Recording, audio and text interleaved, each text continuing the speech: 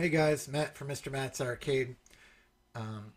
Today I'm going to do a step-by-step tutorial on how to add games to the Alpha Max 3D game board using my new database insertion program. So if you follow the link in the description, it'll bring you to my GitHub.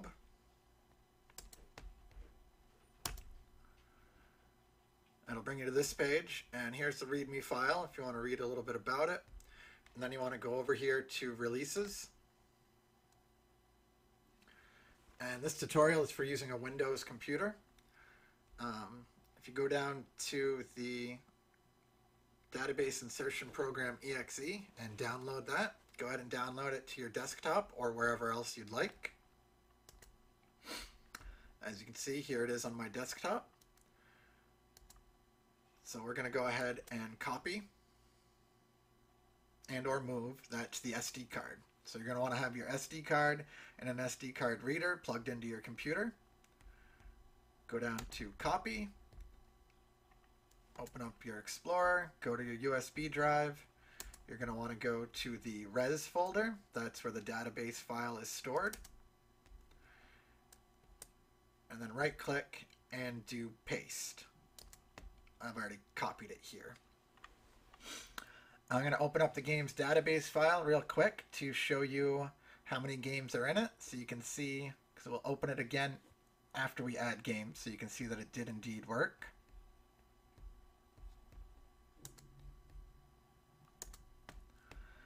So in table EN, which is your display name, if I scroll all the way down to the bottom, the most recently added game was 10,019 called Donkey Kong Test.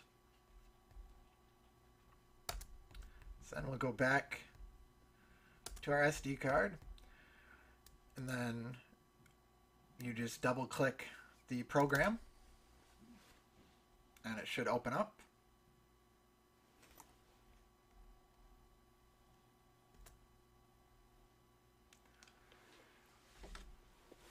AlphaMax 3D Games Database Insertion Program version 1, brought to you by Mr. Matt's Arcade.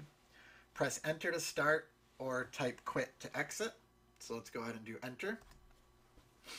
The game we're going to be adding right now is Mortal Kombat 1, the arcade version.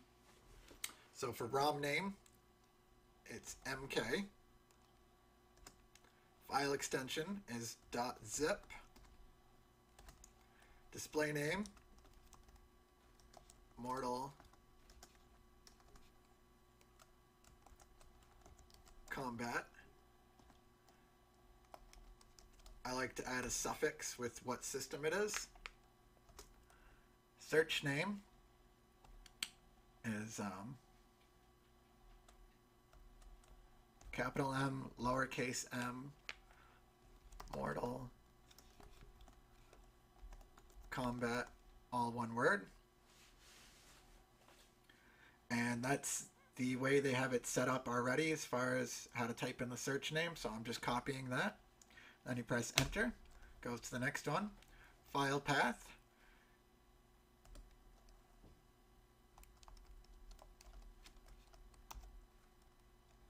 Arcade games go on slash SD card slash game slash CPS and we hit enter. Emulator number, refer to startgame.sh for available cores. So let's go ahead and open that so you can see the different cores so you know which emulator number So if we go down to the lib folder, you'll find a file called startgame.sh. Let's go ahead and open that.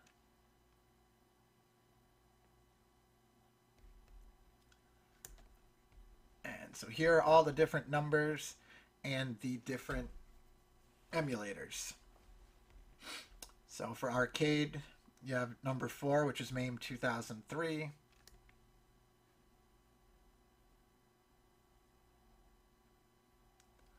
Number 18 is, it says MAME 2016, but it's actually MAME 2010. Number 19 is actually PSP. I can go over why it looks like that. And then down here, I added um, my most recent update, number 23, which is MAME 2003 Plus. And that's the one that I'm going to use this time while adding Mortal Kombat. So the number I want is 23. Most likely, if you're doing an arcade game, you would want either 4 or 18. So let's go back to the program. All right, so I want to do number 23 and hit enter. Is this a 2D game or a 3D game? 2D, so press 2. Is it a vertical game? 1 is yes, 0 is no, so press no. Insert into table game OK, insert into table EN OK, insert into table EN match OK. Connection closed, game on my friends. And now if we want to start another one, we would press enter, or if we wanted to quit, you would type quit. I'm going to leave that open for a minute, and I'm going to go ahead and show you the database file so you can see that it added it to the correct spots. I'm going to go ahead and refresh this. Now if we scroll down to the bottom, there we are, 10,020 Mortal Kombat Dash Arcade. EN Match, which is your search name. There it is, Mortal Kombat. And then you go down to Table Game. Scroll down to the bottom of this one. 10,020, here it is, mk.zip. 10,020 for the video ID as well. Class type, I left blank. Um, in another program, I'll set it up so you can type in the class type if you want. Game type, 23, that's your emulator number.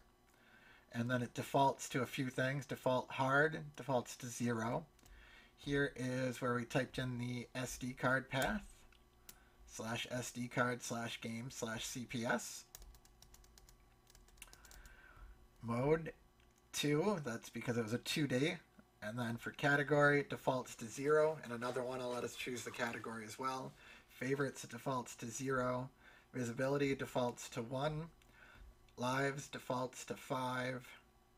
Vertical, we said no. And then for coin time, player's coin, hide save state, and DLSS path, it all does default. Then if we go to the end here, it filled it in for EN match, SP match, and ZH match. So let's go back to the program. We will enter another one. So we will put in Mortal Kombat 2. So I tried to put in a couple of safeguards in this program to prevent you from messing it up the best I could, such as you can't have a blank entry. Oops, can't be blank, try again.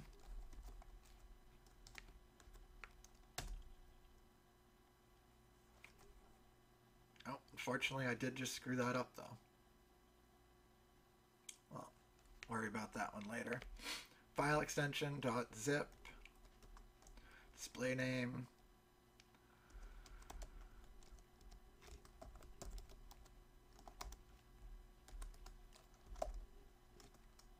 I'm just typing in anything right now because I'm already going to have to delete this one.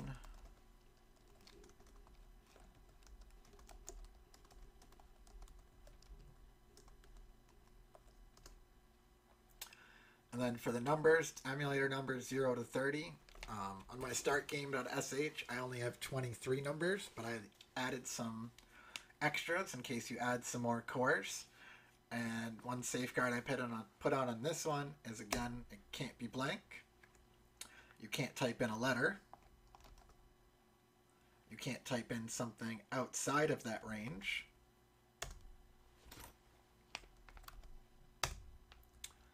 Same thing for this. Can't be blank. Can't be a letter. Can't be outside of the range. Same thing for this.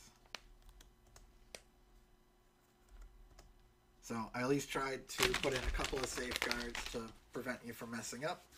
Although, as we just learned, unfortunately, if you type something wrong, such as I did up here, I put a backslash after MK2, then you can still screw things up. All right, let's go ahead and quit. So Q-U-I-T, hit enter, and it closes out. And now the other part of adding games is you need to add your ROM file and your movie file to the correct spot on the SD card. So go back here, up here, game. This is your ROM folder. And then here are all the different folders. You have Atari, 2600, 7800, Atomiswave. CPS is both your, it's your arcade ones, both MAME and FBA. DC is Dreamcast. FC is Nintendo. GBA is Game Boy Advance, Game Boy Color. MD is Mega Drive or Sega Genesis. N64 is N64. Naomi is Naomi. PCE is PC Engine.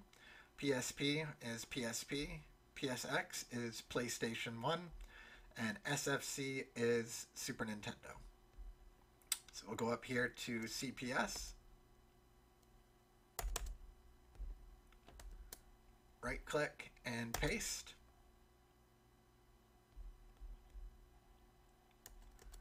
There we go. It added them to that. We'll take a look at the games database so you can see that it added in the correct ones. And then I'll go ahead and pop this um, SD card back into the Alpha Max. and you guys can see that it worked.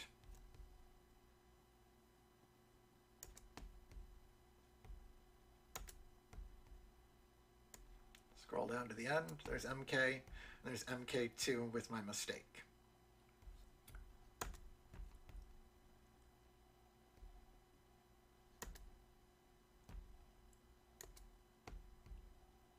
Alright, so I'm going to go ahead and eject this, and I'll pop it into the AlphaMax so you can see that the games we just added, or at least the one that we did correctly, will show up in the list and work properly.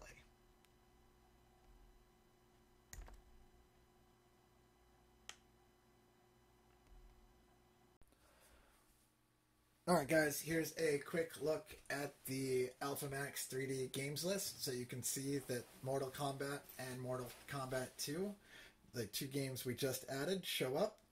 And those were 2D games. So let's go up to the 2D list and go down to the end of it. And here you go. Here's Mortal Kombat Arcade. And then here's the one that I messed up, which I'm going to have to go back and delete. But Mortal Kombat Arcade should open up and run.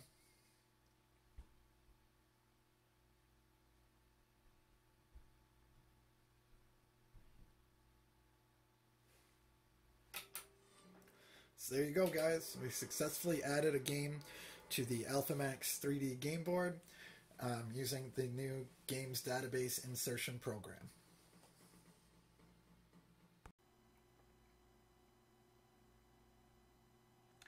So there you go, guys. You can see that the newly added games show up in the list, and if done correctly, play properly as well. Um, so this is just the first revision of the program. I'm going to try to do other revisions that automate some of the process for you and maybe put in a couple more safeguards to prevent you from messing it up. But I hope you guys like this. I've used it quite the program quite a bit and it does making it does make it a little quicker and easier to add games because you no longer have to open the game's database file and manually input entries. I hope you guys liked it, and uh, if you liked it, please like, comment, and subscribe. Let me know what you think of the program. Let me know suggestions on how it can be better. Um, overall, I'm happy with it, especially considering less than a week ago I knew nothing about Python at all. So, not bad in less than a week. I designed a very simple program, and it actually works. So I'm impressed with that. All right, guys. Thanks for watching, and game on, my friends. Hey guys, uh, here is a quick bonus video. Since during my tutorial I messed up some of the inputs, so I figured real quick I would show you how to um, fix or delete it. So we're going to open up the games database. So you want to go to your SD card, go into the res folder, and you want to open your games database. Um, I use DB browser for SQLite as my database program. And I already have it installed, so all I got to do is double click my games database and it'll open up.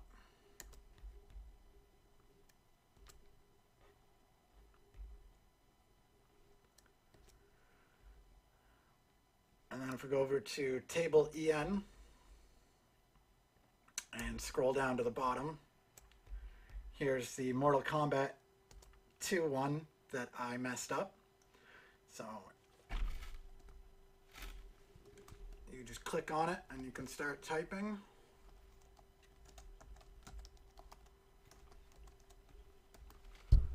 And then you go up here. I click out of the box afterwards. Go up here to write changes, and that'll change what we just did. And then we'd go over to table en match.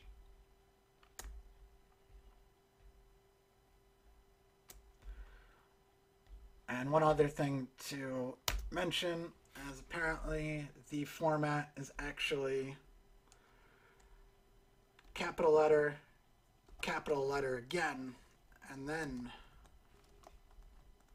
the rest of the name, all one word, no spaces. And then click out of the box, click write changes, and then go down to table game, scroll down, find the one you messed up, and right here is where I made the first mistake. I put a backslash accidentally before I hit enter. So To go ahead and just delete that, click out of the box, and then do write changes. And now that should fix the mistakes that I made. Now the other thing I'm going to show you is how to delete an entry. It's pretty simple. Go back and start at table EN. Scroll down. Click it. Delete record. EN match.